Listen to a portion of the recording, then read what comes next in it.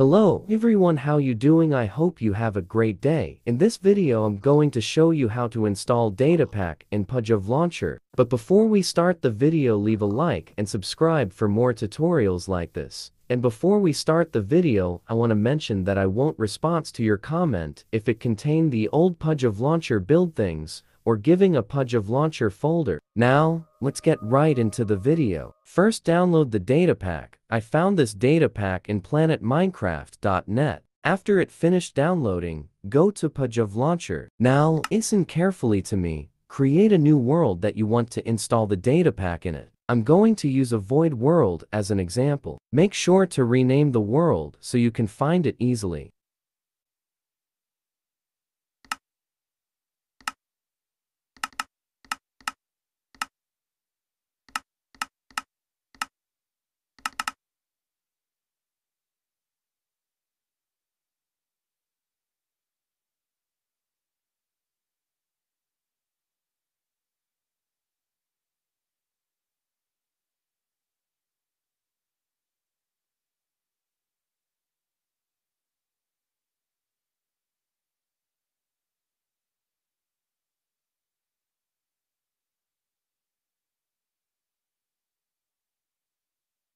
After you created the world leave it.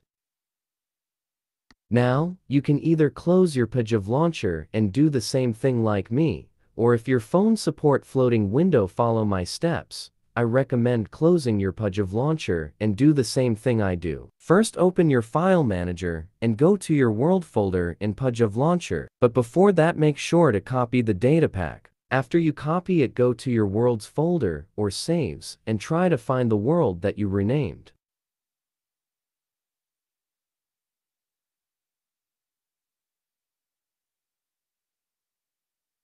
I found the world. Click on it and paste the data pack in the data pack folder.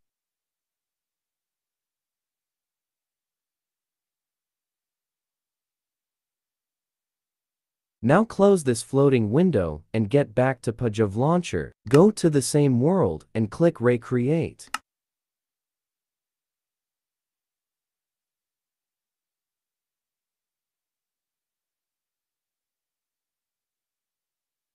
After that, you can click in Datapack to see that you have installed the Datapack correctly. Now, you can enjoy using data packs in Pojav Launcher.